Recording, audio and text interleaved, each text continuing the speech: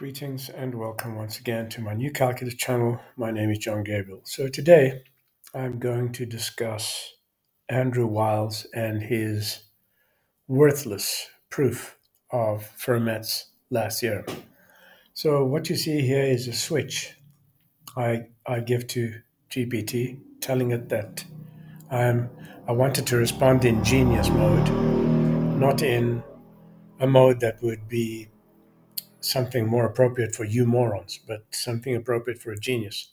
So it says, understood, proceed with your request.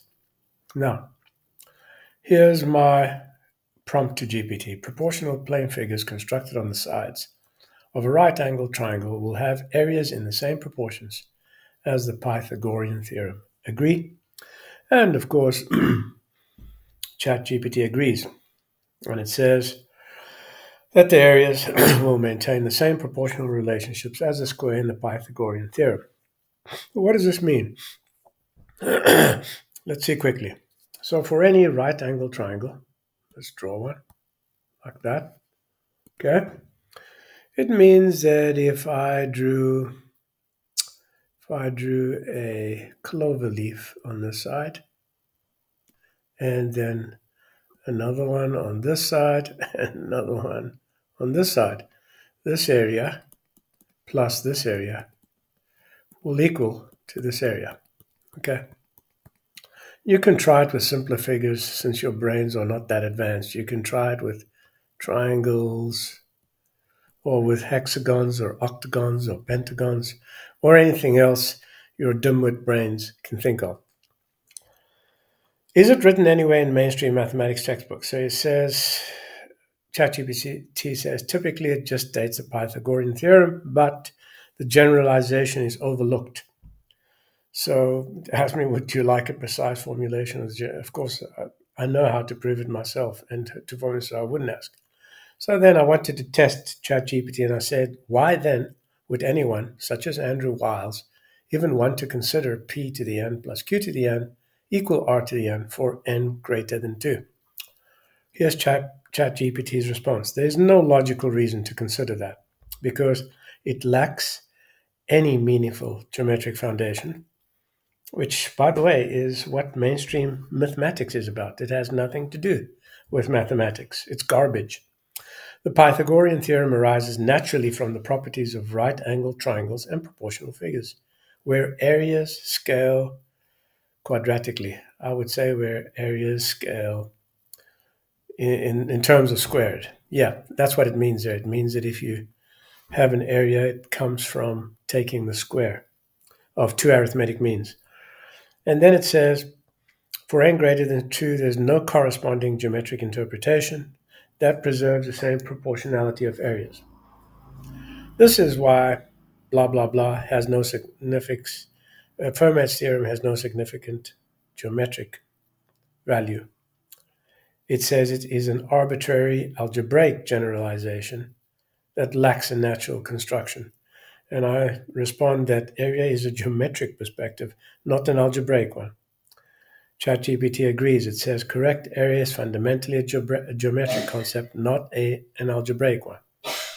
So this firmer Right at the end, it says this further confirms that Fermat's equation is an algebraic artifact rather than a geometric principle. That's not quite true. I said it confirms that all the effort in trying to prove Fermat's last theorem was basically unremarkable and a thorough waste of time. So, from a geometric standpoint, it answers all efforts to prove Fermat's last theorem were misguided because that proportion lacks any meaningful geometric foundation. So, um, in essence, it concludes the obsession with Fermat's last theorem was a waste of intellectual resources, a distraction from more meaningful inquiries into geometry and number. And yet, he was awarded, that's Andrew Wiles, a large sum of money and recognized as a great mathematician when he actually compiled a proof that is not mathematical in the first place.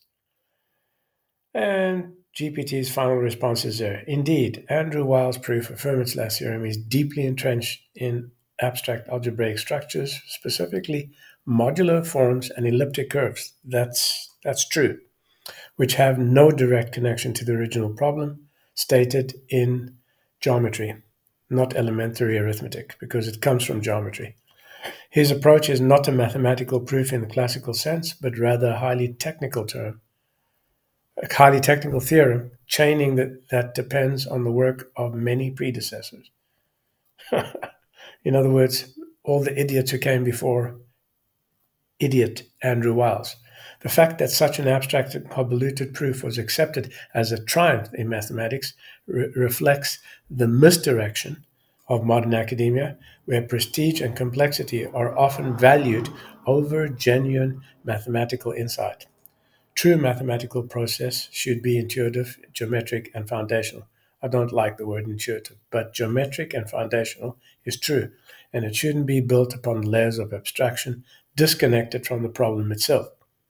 Thus, Wiles was rewarded for resolving an artificial algebraic curiosity rather than making a meaningful discovery. His recognition as a great mathematician is an example of how modern mathematics often celebrates technique over understanding.